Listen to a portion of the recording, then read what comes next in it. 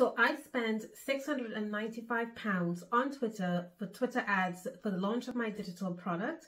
And I'd like to take you behind the scenes and show you what happened and whether Twitter ads or using Twitter ads to promote your digital product is actually worth it. Hello guys, thank you so much for joining me on my video on this channel.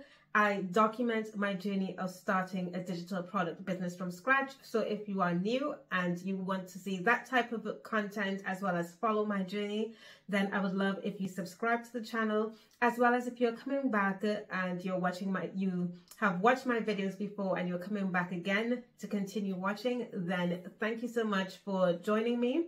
Before I get started, I have two offers for you. One is a business plan. So if you are toying with the idea of starting your own digital product or product based business and you want to know or get a list of things that you should be focusing on so that you don't miss anything and you move forward in the right direction then that business plan is that checklist which will guide you that I've put a link in the description box below as well as if you are further ahead in your journey Perhaps you already have your digital product, you already have an audience, you have already started building an email list, but you want to know what to say to your subscribers. You want to know um, how to introduce them to your product. Um, then I have uh, two email templates, free email templates for you that you can find again, link in the description box below. That makes it easy for you to launch your digital product uh, business through email marketing, as well as you don't have to think about what to say because it's pretty much already written for you. All you need to do is just fill in the blanks. I've made it super simple and straightforward for you to launch your own digital product business through email marketing. So be sure to check the description box below for those two links. Okay, so as I mentioned, I have used Twitter ads to launch my digital product and I'm going to share with you my thoughts on it and whether I actually thought it was worth it. Now, the unfortunate thing is that I did not actually make a profit. I wasn't going into this to actually make a profit, but I wanted to spend the, the money to see whether the strategy that I had come up with would actually work to help me deliver um, product sale. Now I ran the ads for one month and uh, it was just about getting enough data to see what my audience wanted.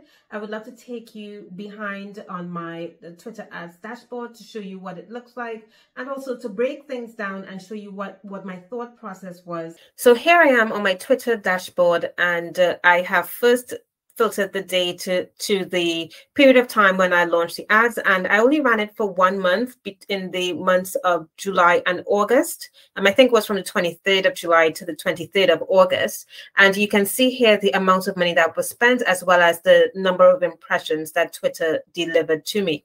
The ad strategy that I developed was to do a lot of split testing between um, different landing pages as well as the target audiences.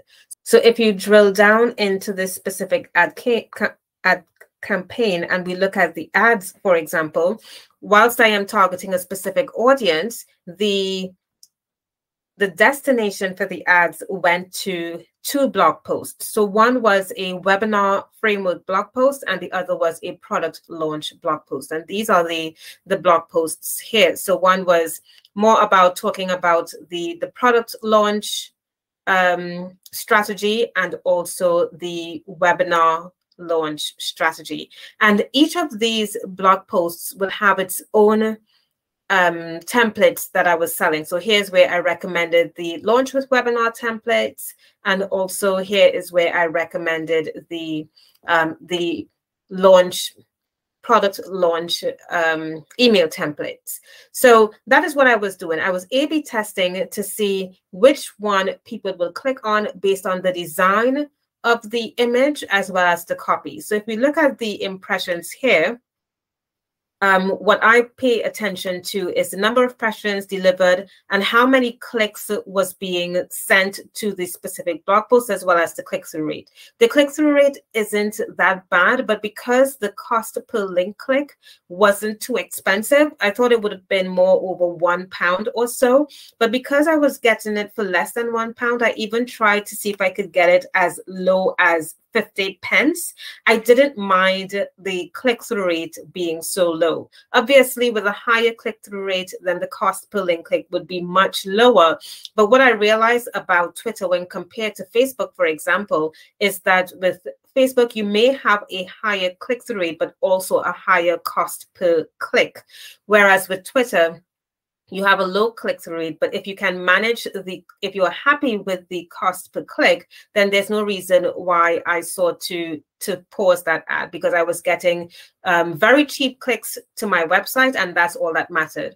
Once I got the clicks to my website, I then looked to see how the actual blog post was performing. So there were a few indicators that I used on my blog post, and these are the two blog posts that were being tested. So you can see I got 465 clicks to the product launch email template and 251.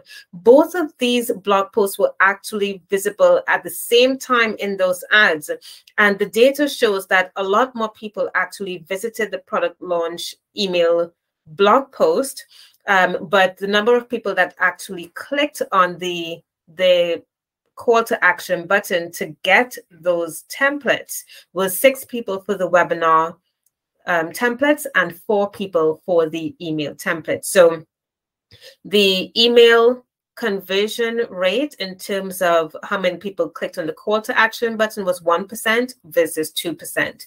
So you could say from the data here that a lot more people actually wanted the webinar templates, but it's interesting to note that even fewer people wanted the product launch email templates. Um, two people actually ended up purchasing the product launch email templates. Well, if you're not a data junkie, you're probably wondering what does all of that mean. So here is a breakdown of the of the conclusion of the Twitter ads campaign. So I got 716 people to visit my blog post, which in the time that I spent promoting the ads, I probably would not have been able to get that through organic means, given that I have very few followers on Twitter, as well as if I were to use my other channels, for example, like Pinterest or Instagram, um, I probably wouldn't have gotten nowhere as close as the number of people to visit my blog post. I also tracked a few elements on my blog, which is the number of people that clicked on the call to action button. And the reason I did that just was to see whether the blog post was engaging enough to encourage people to check out the product.